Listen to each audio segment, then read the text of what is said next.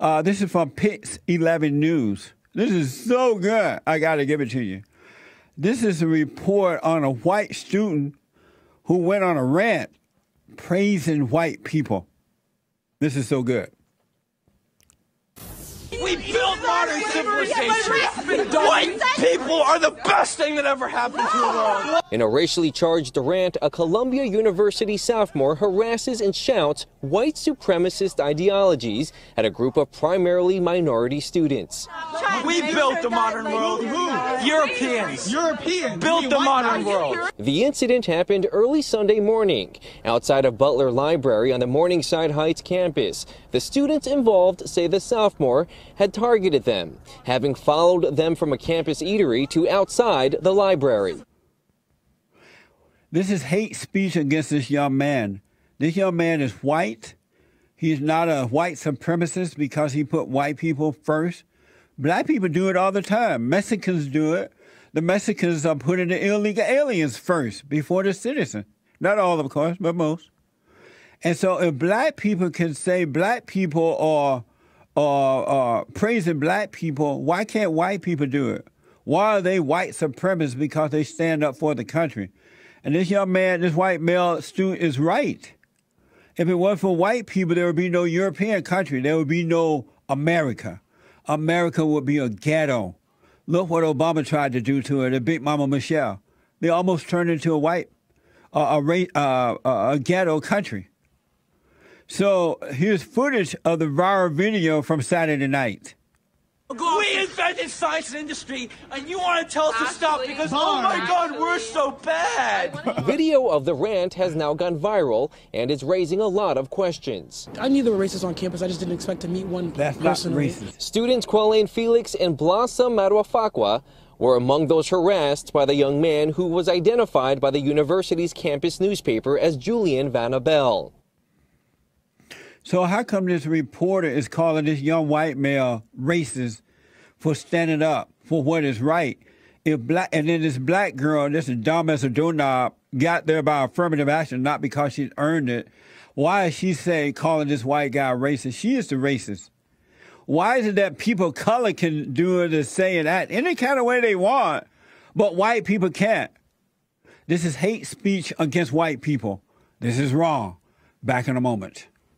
God blesses white student at Columbia University for speaking up. Finally, somebody is saying what I've been saying forever. If it wasn't for white people, there would be no America. The Indians didn't do it. The blacks didn't do it. If it wasn't for white people, there'd be no European. These folks are trying to come to our country. They didn't do it anywhere. And so here's this black student blamed the Columbia curriculum for this white man speaking up. While they did acknowledge a number of driving factors, both students feel his behavior is a byproduct of a curriculum at the university that tends to lean toward a Western European superiority. What are they doing on, once again, institution level to ensure that um, there's narrative outside of Western European um, knowledge base, uh, knowledge spreading, assuring that their students, um, the students can, of color can actually see themselves inside the curriculums. Amazing. This is why you should not let black students and Mexican students on your campus. They're getting there by way of affirmative action, not because they love America. They want to change the curriculum because they want to promote their blackness.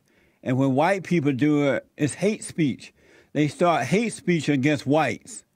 They call this young man a white supremacist because he's telling the truth. This is wrong. Absolute wrong. This is hate speech against this young man. Columbia University denounces the white student racism on campus. This is not racism, it's racism against him, folks. Here's it go. What? We don't have time for it? I have some more coming up then. Columbus was to, was to hold an open reflection space Monday evening. Why are they catering to these blacks who only got there not because they earned it anyway, but because of affirmative action? Because they're black. Amazing! It is Country and Western Tuesday. It's a spiritual battle, a warfare between good and evil. Has nothing to do with male or female, has nothing to do with color, folks. Fallen state people believe it's about color, only if they're in a fallen state, but it's about spirit. Right or wrong, good or evil. We're influenced by one or the other. We're not in control of ourselves. According to the Columbia Spectator, a physics student named Julian Von, I believe it's a Abele, uh, Abele was filmed shouting at a group of black students at 4 a.m. on Sunday. This is from Twitter. Here's the raw footage of a white male student at Columbia University saying whites built the modern world. We built the modern world. We built the modern world. Europeans. Europeans. Built the modern world. European? We invented science and look at slavery, industry. but go up, sis, but go up. We invented science and industry, and you want to tell us to stop Actually- because, oh my Bars. God, we're so bad. Bars. We're, we invented the modern world. I feel you. No. You're so dumb. We invented the modern this is world. Degenerate. We saved billions of people from starvation. Are you joking? So, in all honesty, this white student, male student, Julian Von Abele, is right. He's telling the truth. Thank God he's standing up and telling the truth. If it wasn't for white people, there would be no America. If it wasn't for white people, the illegal aliens would not be trying to break into this country. And, black people are not making it better. Illegal alien Mexicans are not making it better. It's white folks. Science and all that is white people. And I'm glad that this guy is Julian is standing up. About time white people spoke up. And all this hate speech against you, let it roll off your back. This man, Julian, is of great courage. And he's telling the absolute truth. And these black students are there only at Columbia University only because of their color, not because they earned it. And then now that they are there based on black color, they want to change the curriculum. They want to change it to blackness and end up a ghetto. Black people, if you're not happy at these white schools, go to your own and mess up over there. No one cares. Julian, God bless you for telling the truth and standing against hate speech. These blacks are only there because of blackness, not because they earned it. They want to go to these white schools and change it into their ghetto uh, mentality. Finally, a white student standing up. White male is that. He says he loved white people. White people uh, of color, um, while people of color hound him. We built modern civilization. White people are the best thing that ever happened to the world. We are so amazing. And I love myself. And I love white people. Say that one more. Yeah, white Say it people. right here. Yeah, white men. We're white men. We did everything. Look, I don't hate other people. I just love my oh, white men. I just love white men. Oh, Listen to the hate speech against him. What's wrong with him being white and loving white people? He doesn't hate all people, other people. He just love white people. I love white people. I did a, a man on the street thing, and most of the blacks did not love whites. It did over a million uh, views because the blacks were saying they don't love white people. Black people don't love anyone. They are the uh, uh, failures of society, the junk people. And this white guy going out and saying he loved white people. Thank God, finally.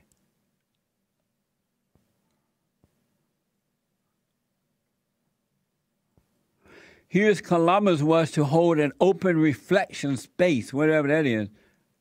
Oh, part D? Oh, yeah. Columbia University denounces the white students' racism on campus. In a statement posted on their Twitter page, Columbia denounced the incident, assuring students and faculty that it's under investigation. White people are the best thing that ever happened to the world. Von Abele did not immediately respond to our request for comment. The now viral rant comes in wake of a number of other hate speech incidents that have occurred not only in New York, but across the country. Posters for a white supremacist group recently surfaced near the Columbia University campus, further escalating tensions. So this is hate speech toward white people, folks.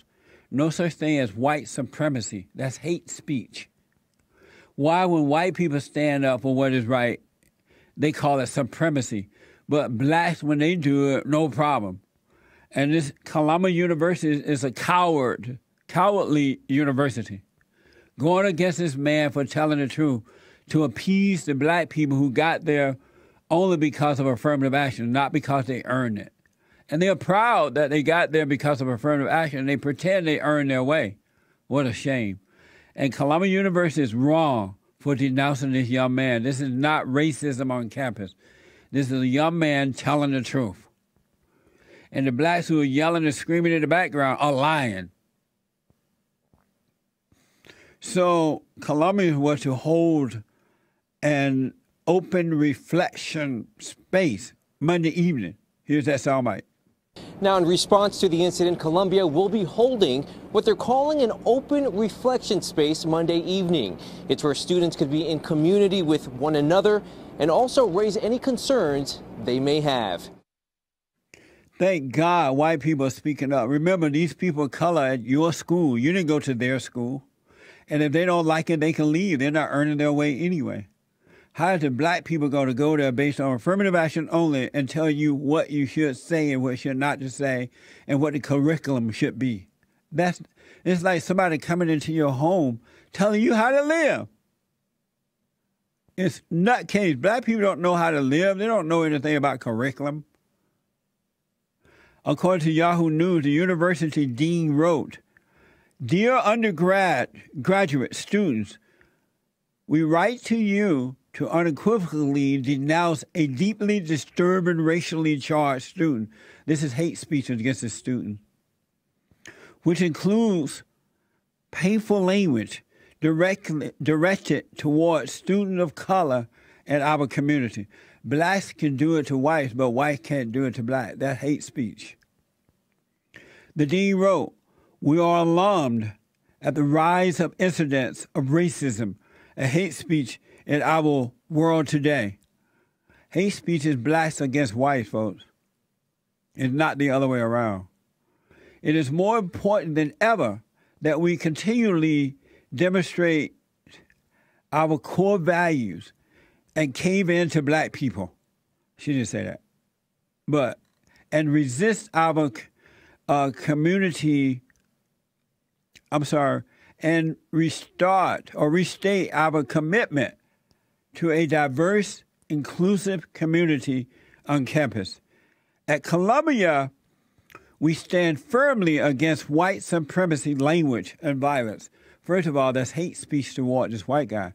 No such thing as white supremacy and no such thing as violence. They're making that up because they are hateful. The Black Student Organization claims that Von Abele, Abele grabbed a student during the confrontation and ask them to if black women like to date white men. All lies. Hate speech against this white fella. Thank God this white boy is standing up. And white people, if you stand up, they can't do anything about it. What can they do? They don't have courage. They're angry. They're violent people, but they have no courage. Angry people don't have courage. They can't even look at you when they're angry. I'll take your calls when I come back.